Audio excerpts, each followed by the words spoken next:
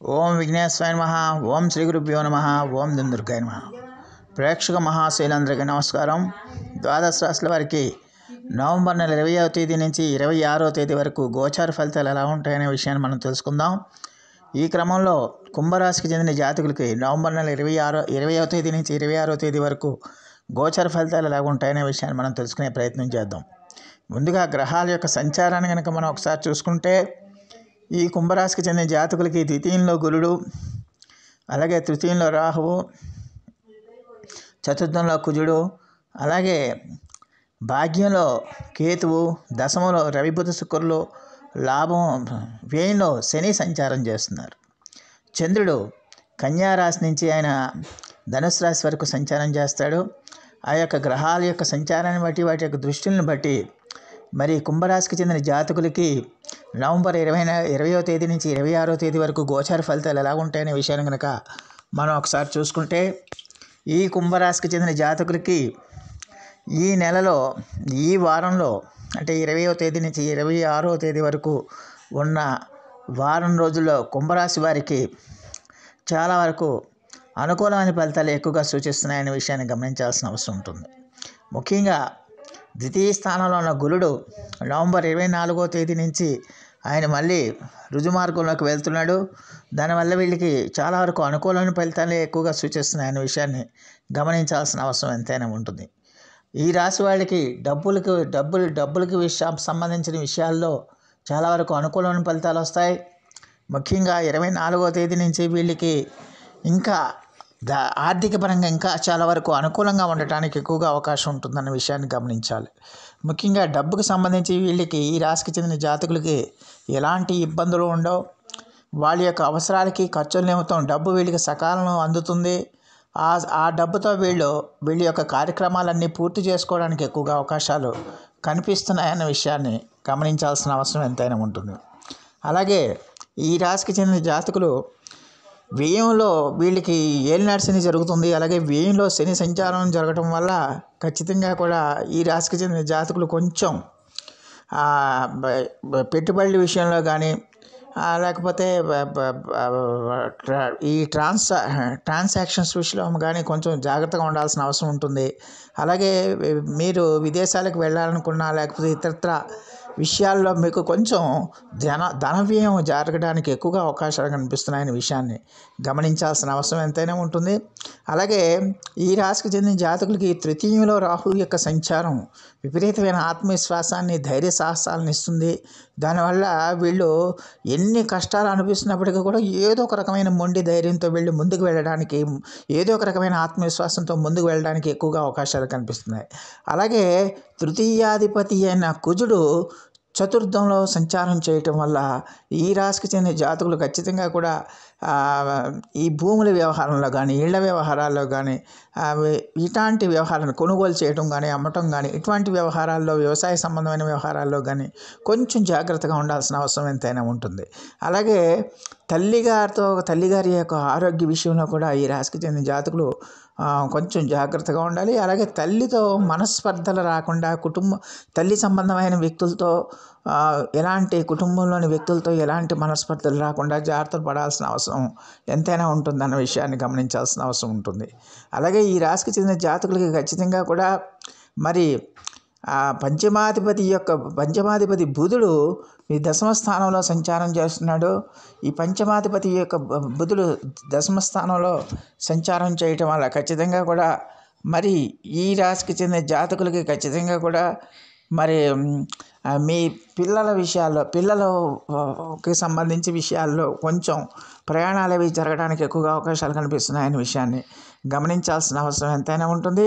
అలాగే ఖచ్చితంగా కూడా మరి ఈ రాశికి చెందిన జాతకులకి ఖచ్చితంగా కూడా మరి ఈ రాశికి చెందిన జాతకులకి ఈ బ్యాంకింగ్ రంగంలో ఉండే వాళ్ళకి కానీ లేకపోతే క్రియేటివ్ ఫీల్డ్స్లో ఉండేవాళ్ళకి కానీ సృజనాత్మక రంగాల్లో ఉండే వాళ్ళకి కానీ చాలా వరకు అనుకూలమైన ఫలితాలు ఎక్కువగా సూచిస్తున్నాయనే విషయాన్ని గమనించాల్సిన అవసరం ఉంటుంది. ముఖ్యంగా సినిమా కానీ టీవీ కానీ ఇతరత్ర క్రియేటివ్ రంగాల్లో ఉండే వాళ్ళందరికీ కూడా రైటర్స్ కానీ ముఖ్యంగా రా రైటర్స్కి కానీ ఇతర క్రియేటివ్ రంగాల్లో పనిచేసే వాళ్ళందరికీ కూడా అద్భుతమైన కాలంగా మనం చెప్పుకోవచ్చు. వాళ్ళకి కొత్త కొత్త అవకాశాలు వస్తాయి. వాళ్ళ వాళ్ళ వాళ్ళ రాస్తున్న రాత్రికి మంచి గుర్తింపు వస్తుంది. మంచి మంచి అవకాశాలు వస్తాయనే విషయాన్ని గమనించాల్సిన అవసరం ఉంటుంది. అలాగే ఉద్యోగ ప్రయత్నాలు చేసే వాళ్ళకి ఇరవై నాలుగు తర్వాత ఖచ్చితంగా కూడా ఉద్యోగ ప్రయత్నాలు రావడానికి ఎక్కువగా అవకాశాలు ఉంటాయనే విషయాన్ని గమనించాలి. అలాగే ఉద్యోగ యోగం కూడా కలుగుతుందన్న విషయాన్ని గమనించాల్సిన అవసరం ఎంతైనా ఉంటుంది. అలాగే ఖచ్చితంగా కూడా ఊహాశక్తితో సృజనాత్మక శక్తితో పనిచేసే వాళ్ళందరికీ కూడా అద్భుతమైన ఫలితాలు రావడానికి ఎక్కువగా అవకాశాలు ఉంటాయనే విషయాన్ని గమనించాల్సిన అవసరం ఎంతైనా ఉంటుంది. అలాగే ఈ రాశికి చెందిన జాతకులకి ఖచ్చితంగా కూడా మరి దశమ స్థానంలోని యొక్క శుక్రుడి యొక్క సంచారం జరుగుతుంది.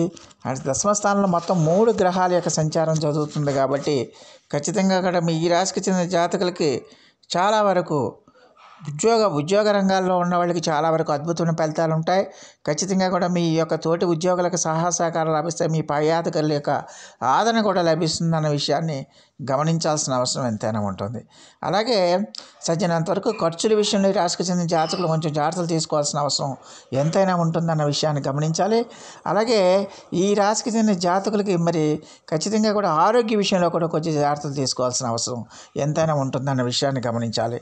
ఎట్టి పరిస్థితుల్లో కూడా మీ ఆరోగ్యాన్ని నిర్లక్ష్యం చేయకూడదు. ఎట్టి పరిస్థితుల్లో కూడా ఎలాంటి చిన్న అనారోగ్య సమస్య వచ్చినా కూడా మీరు నిర్లక్ష్యం చేయకుండా ముందుకు వెళ్ళాల్సిన అవసరం ఎంతైనా ఉంటుందన్న విషయాన్ని గమనించాలి. మొత్తం మీద చూస్తే ఈ కుంభరాశికి చెందిన జాతకులకి చాలా వరకు అనుకూలమైన ఫలితాలు ఎక్కువగా సూచిస్తున్నాయనే విషయాన్ని గమనించాలి. అలాగే రిలేషన్షిప్స్ మెయింటైన్ చేసే వాళ్ళకి భార్యాభర్తలకి చిన్న చిన్న మర్ద మనస్పర్ధలు వచ్చినప్పటికీ కూడా అవన్నీ కూడా తొలగిపోవడానికి ఎక్కువగా అవకాశాలు కనిపిస్తున్నాయనే విషయాన్ని గమనించాల్సిన అవసరం ఉంటుంది. మీ పిల్లలు ఎవరైతే ఉన్నారో మీ పిల్లల యొక్క మీ పిల్లల యొక్క డెవలప్మెంట్ కూడా బాగుంటుందన్న విషయాన్ని గమనించాల్సిన అవసరం ఎంతైనా ఉంటుందన్న విషయాన్ని గమనించాలి.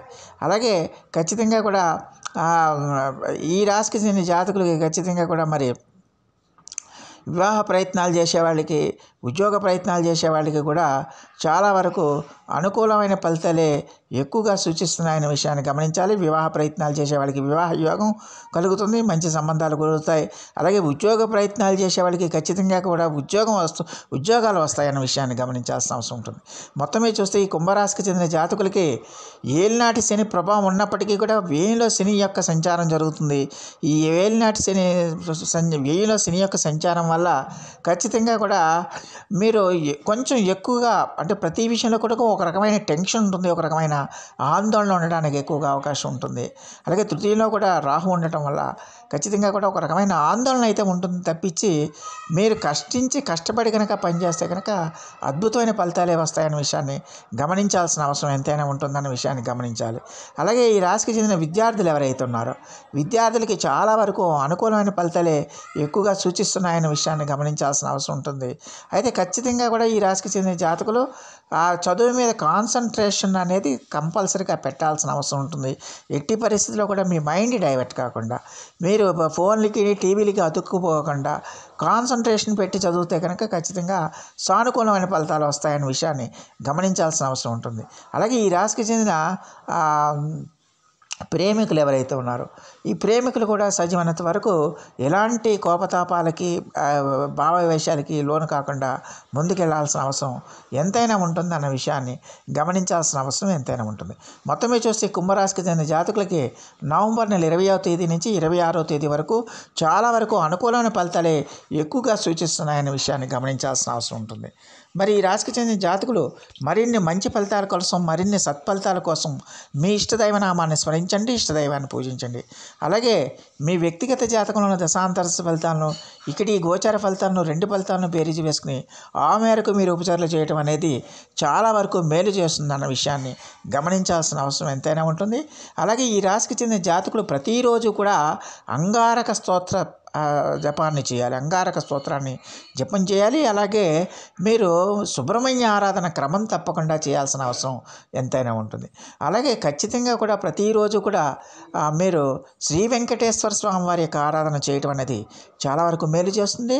అలాగే విష్ణు సంబంధమైన ఆరాధన ఏదైనా సరే శ్రీరామ రక్షా స్తోత్రం కానీ లేకపోతే శ్రీకృష్ణుడికి సంబంధించి ఏదైనా స్తోత్ర పఠనం కానీ విష్ణు సహస్రనామ పారాయణం కానీ ఇలా ఏది చేసినా కూడా కూడా మీకు అద్భుతమైన ఫలితాలు రావడానికి ఎక్కువగా అవకాశం ఉంటుందన్న విషయాన్ని గమనించాల్సిన అవసరం ఉంటుంది. సో ప్రేక్షకులంతా ఒక విషయాన్ని గమనించాలి. ఇప్పుడు నేను చెప్తున్న విశేషాలన్నీ కూడా మీ గోచార ఫలితాలే. మీ వ్యక్తిగత జాతకం అనేది ఒకటి ఉంటుంది. మీ పుట్టిన తేదీ పుట్టిన సమయం పుట్టిన ఊరిని బట్టి మీ వ్యక్తిగత జాతకం ఆధారపడి ఉంటుంది కాబట్టి ప్రతి ఒక్కరు కూడా మీ వ్యక్తిగత జాతకాన్ని పరిశీలన చేయించుకుని అక్కడ ఉంటే దశాంతర ఫలితాలు ఇక్కడ ఈ గోచార ఫలితాలు రెండు ఫలితాలను బేరీజు వేసుకుని ఆ మేరకు మీరు ఉపచారాలు చేయాల్సిన అవసరం ఎంతైనా ఉంటుందన్న విషయాన్ని గమనించాల్సిన అవసరం ఉంటుంది.